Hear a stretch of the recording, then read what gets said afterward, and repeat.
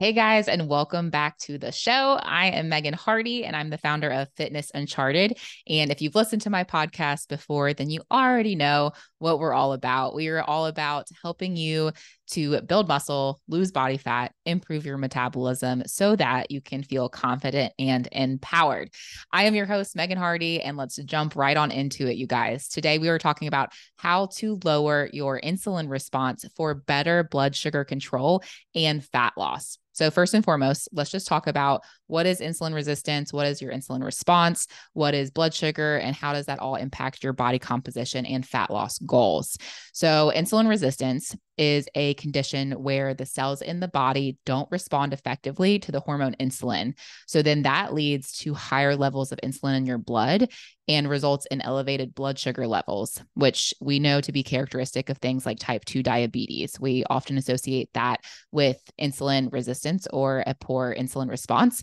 But the truth is, um, even if you haven't been diagnosed with type 2 diabetes, you can have a poor insulin insulin response and um, insulin sensitivity. So Several factors that contribute to the development of insulin resistance are things like obesity, having excess body fat or body weight can actually lead to more insulin resistance. Genetics, of course, is a factor. Um, lack of regular physical activity, poor diet, you know, eating a diet that's high in pro inflammatory foods, um, you know, high in added sugars, things like that.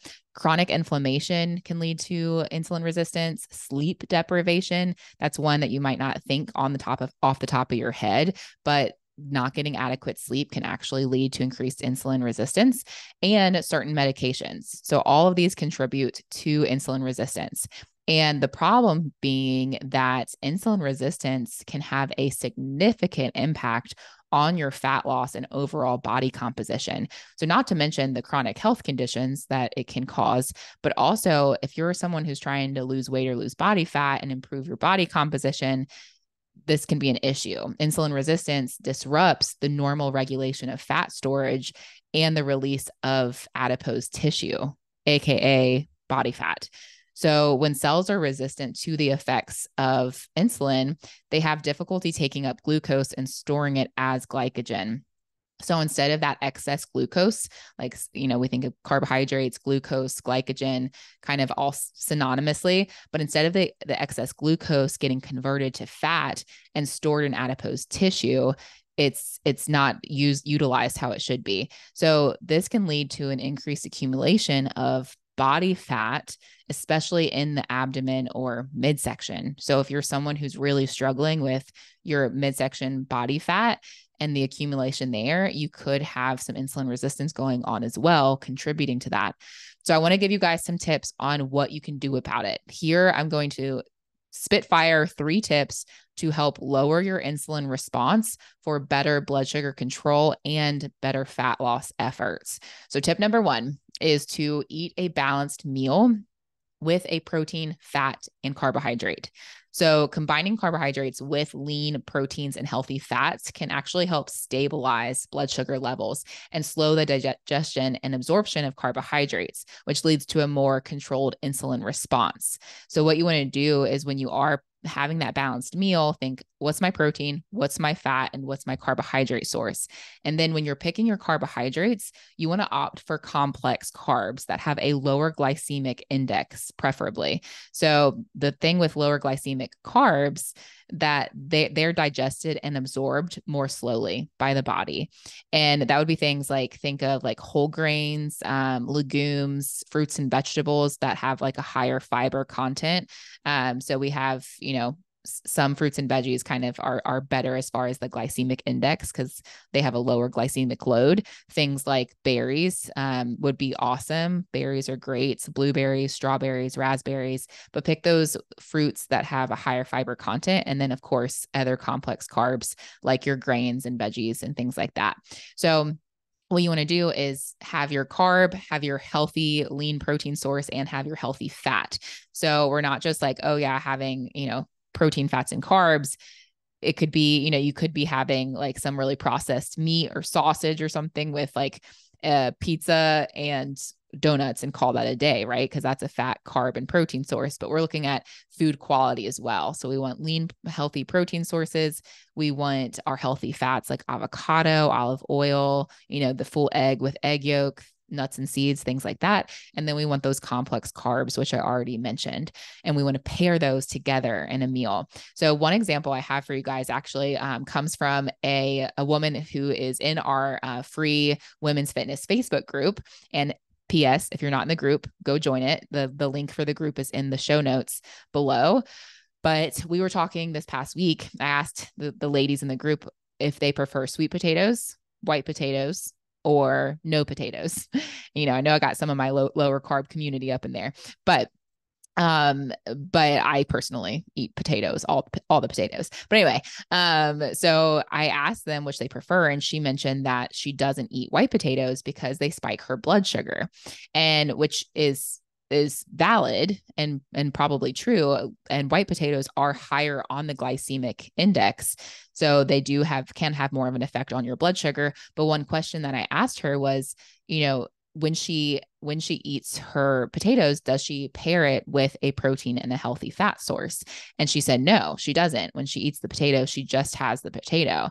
And so, I, what I advised her to do was next time, if she wants to have some white potatoes, then to incorporate a, a healthy protein and fat source along with that, because her body is not going to have the same blood sugar spike as it would if she was just having the white potato by itself.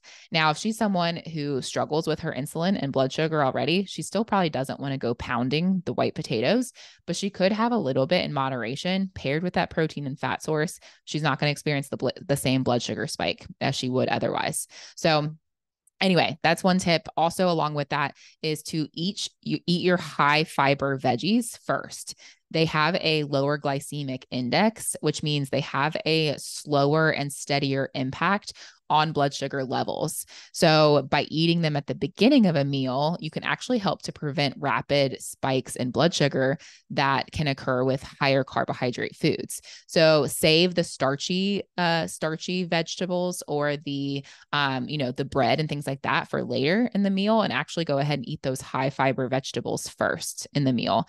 Um, so that's tip number one, that well balanced diet. Tip number two is to go for a walk after each meal. So, physical activity in general helps with the insulin response. So, if you're someone who's pretty sedentary, just getting up and moving at any time of the day can help with your overall insulin response. But especially after a meal, this can help reduce that blood sugar spike that we get after eating a meal. So, if you're someone who's trying to regulate your blood sugar and trying not to have as much of that spike, go for a walk, even if it's literally a five minute walk. Ideally, if you could do 10 or 15 minutes or more, awesome. Um, but just move your body after that instead of just sitting and being sedentary. I know that's what we want to do after a meal, especially as Americans. Uh, we tend to just want to sit and veg on the couch. But the best thing you could do is actually try in your day if you're someone who really wants to improve your blood sugar try to go for a 10 minute walk after breakfast lunch and dinner. It will it will seriously make like some of the biggest changes for you. Um, so start incorporating that. It's one really easy tip.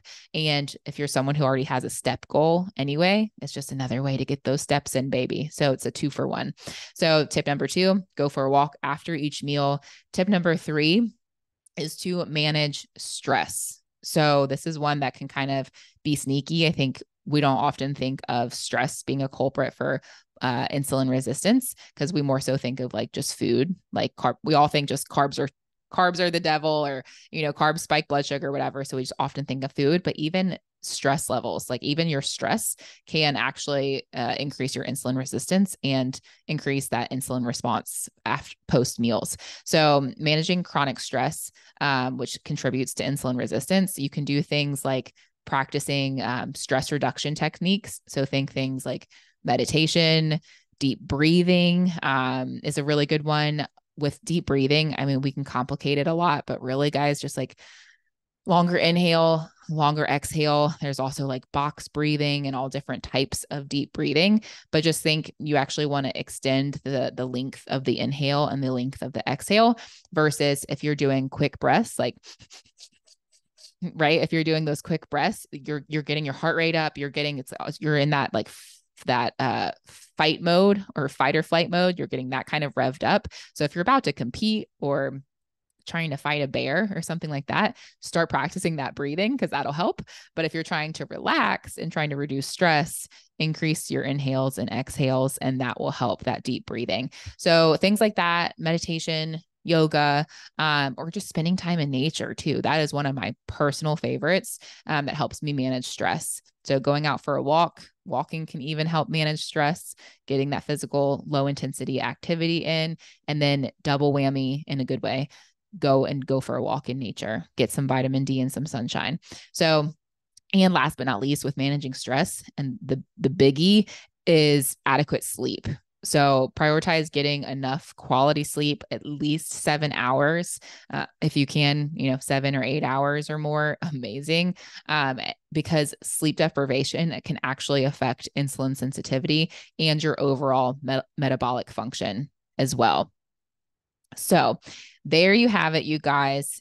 If you found this episode helpful, share it with a loved one and please, please leave a review. This helps the show get into the hands and into the ears, you know, podcast listeners of other people who really need to hear it. And it really just means so much to me too. I really appreciate it. So thanks again for listening, and I'll catch you guys on the next episode.